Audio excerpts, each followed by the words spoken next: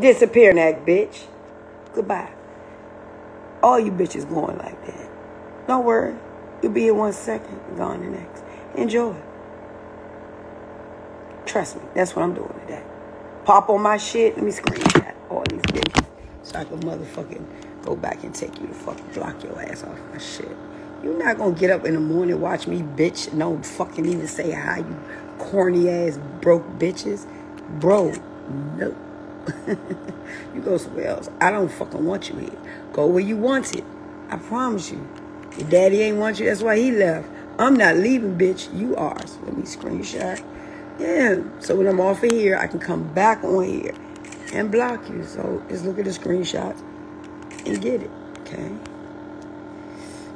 There we go. It's about a good 100, 150. Not a problem. So I'm going to finish from here. Don't worry. This will be your last motherfucking live. I make promises. I keep all my promises. Every last one. I never broke a promise. Good or bad. I said I'm going to come get you, bitch. Catch you.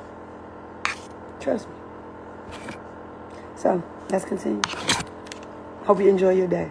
Because I'm not playing with you groupie assholes. you going to go in that motherfucking DM, bitch. You a broke bitch, okay? You can't do the honey.